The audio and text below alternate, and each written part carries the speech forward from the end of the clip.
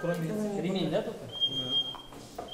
Волнение школьников и строгий контроль. Чтобы попасть на экзамен, участники проходят через металлорамку. С собой берут только необходимое – вода, ручка и шоколад. Сегодня в 8 гимназии досрочный экзамен сдают 93 школьника. Здесь те, кто не сможет сдать экзамены летом или провалили их в прошлом году. Михаилу Топелину для поступления в университет заработанных баллов не хватило. Сейчас он учится в Челнинском политехе, но с мечтой о высшем образовании не расстается. В первой части 23 задания решишь где-нибудь 15, там, может быть, 14 заданий правильные, ты пройдешь, ну, у тебя будет проходной балл. Проходной балл заработать с каждым годом все сложнее. Правила все строже, камер все больше. Есть и нововведения. Бланки с заданиями распечатываются прямо перед школьниками, сразу после начала экзамена. Далее его работа после того, как он закончил, непосредственно в штабе начинается сканировка его работы. То есть мы исключаем вообще весь момент того, что данный а, индивидуальный пакет может быть в дороге где-то вскрыт и могут быть туда какие-то внесены